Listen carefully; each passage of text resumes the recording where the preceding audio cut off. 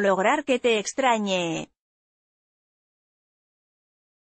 Foto, UNSPLASH Cuando conociste a tu pareja dejaste de salir con tus amigos y amigas para solo centrar tu vida solo en él. Si es así, esta información te interesa. Un estudio señala que esto en lugar de traer beneficios a tu vida de pareja, a la larga provocará confusión y hasta problemas. Muchos hombres y mujeres abandonan los encuentros sociales para sumergirse en la intimidad de la pareja, saliendo a pasar el rato con sus amigos únicamente cuando el otro se encuentra fuera de la ciudad, o cuando se separan. Los conceptos de almas gemelas o individuos hechos el uno para el otro, son espejismos sobre los cuales el imaginario colectivo tiende a poner toda la expectativa en una sola persona, explicó a Infobae Cecilia Moya, psicoanalista miembro de la Asociación Psicoanalítica Argentina, APA, y experta en consulta de parejas. Según la experta Gabriela Ruller, psicóloga especialista en terapia de parejas cuando los roles de amante, mejor amigo y confidente confluyen en un solo individuo, si eso se rompe, la caída es muy dura y la recuperación igual. Por eso, mantener algunos aspectos de la soltería en una relación es realmente el mejor enfoque para sostener la pasión y enriquecer una relación. Poner a una pareja en este pedestal fácilmente volteable de amante perfecto, único y mejor amigo solo lo prepara para fallar. La cultura popular idealiza el mito de encontrar una única persona, tanto en las parejas como en los mejores amigos que satisfaga todas las necesidades, sin embargo, nadie, ni un compañero ni amigo puede hacerlo, la condición de único en cualquier relación y más aún en la de pareja, genera la ilusión de una completitud que solo aplasta el deseo, pues exige cada vez más que el otro nos colme, aseveró Moya. Poner a una pareja en este pedestal fácilmente volteable de amante perfecto, único y mejor amigo solo lo prepara para fallar. Los amigos, por ejemplo, son catárticos y ayudan a resolver los problemas en las relaciones al tener a alguien con quien hablar y pedirle consejo. Sin embargo, la especialista se cuestionó si este aspecto es en verdad propio de la soltería o lo es en realidad propio de la vida misma, ¿por qué renunciar a ellos cuando se inicia o se está en pareja, tras que ideal corremos cuando pensamos que alguien nos puede dar todo o ser lo único? se preguntó. Por muy divertidas que sean las salidas románticas, pasar tiempo con amigos de manera individual o grupal por fuera de una relación puede ayudar a enriquecer el pacto entre los socios, les permite a ambos tener nuevas experiencias que amplían sus intereses y perspectivas, y perseguir pasiones que de otro modo podrían quedarse inactivas, tener una vida rica en intereses en general, conservar los espacios propios y los lugares de crecimiento personal ayuda en el sentido que evita poner toda la carga en una única persona, agregó Ruyer. Sin embargo, si hay demasiadas diferencias, se pueden generar crisis irreparables en la pareja. Si un miembro de la relación explicó es más bien solitario y planea únicamente una vida de a dos y el otro es sociable y busca mantener activas las relaciones con los demás en diferentes actividades y encuentros, se terminarán por distanciar. Como enamorar a un hombre.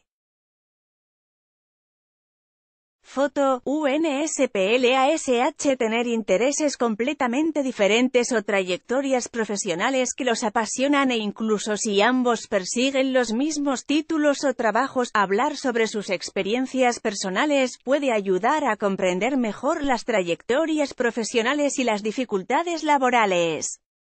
Según Ruyer, el crecimiento personal siempre alimenta a la pareja, pero la cuestión está en saber acompañar ese crecimiento, si el otro tiene una vida hacia afuera y crece en una dirección y el otro se estanca en su crecimiento posiblemente la pareja se aleje, advirtió, si tienen intereses completamente diferentes o trayectorias profesionales que los apasionan e incluso si ambos persiguen los mismos títulos o trabajos, hablar sobre sus experiencias personales puede ayudar a comprender mejor las trayectorias profesionales y las dificultades laborales del otro.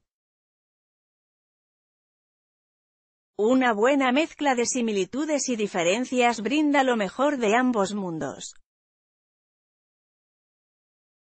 Los mapas del amor, para no perder de vista a la pareja además del conocimiento sobre el otro, se incluyen las preferencias, amistades y miedos cotidianos de la pareja. John Gottman, profesor de psicología ampliamente conocido por su trabajo en terapia familiar y de pareja y por su análisis de la estabilidad matrimonial, explica que uno de los hábitos saludables que tienen las parejas que son felices y que perduran en el tiempo son lo que se llaman los mapas del amor. Uno de los principios básicos de las parejas emocionalmente inteligentes es que tienen un completo y actualizado mapa del amor.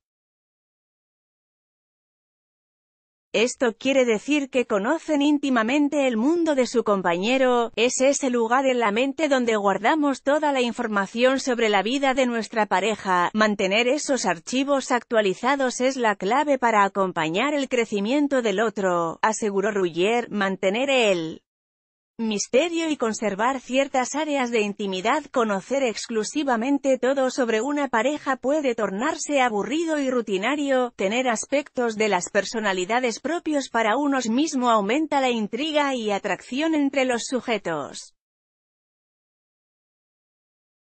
Para la experta, lo importante de tener una vida fuera de la pareja es que el otro esté al tanto.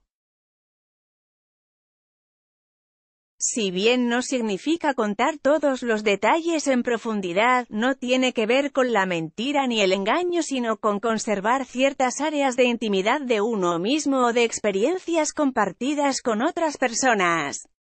Mantener un poco de misterio es saludable la relación, conocer exclusivamente todo sobre una pareja puede tornarse aburrido y rutinario, tener aspectos de las personalidades propios para unos mismo aumenta la intriga y atracción entre los sujetos.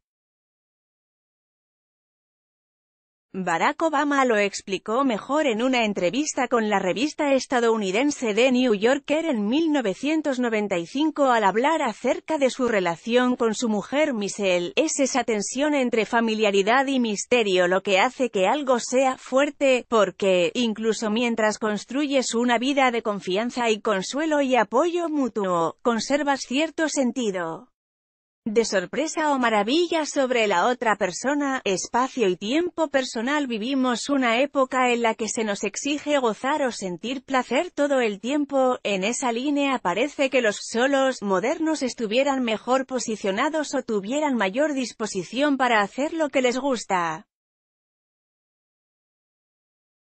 Estos momentos de dedicación personal revelan descubrimientos, significados y propósitos acerca de la vida. Este proceso comienza en la adolescencia y continúa a lo largo toda la vida. Dejar en claro que se necesita espacio personal es una petición perfectamente razonable.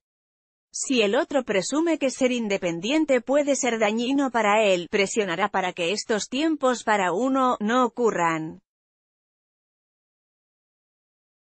A veces, la presión puede provenir de una pareja necesitada que requiere atención y seguridad constante. Tener una diversidad de aspectos en primer lugar, equilibrados y sólidos ya sea solo o en pareja, solo mejora la calidad de vida. ¿Por qué conformarse con menos? Amor, libertad de pareja, salir con amigas hace bien a tu relación de pareja. ¿Cómo hacer que un hombre te valore?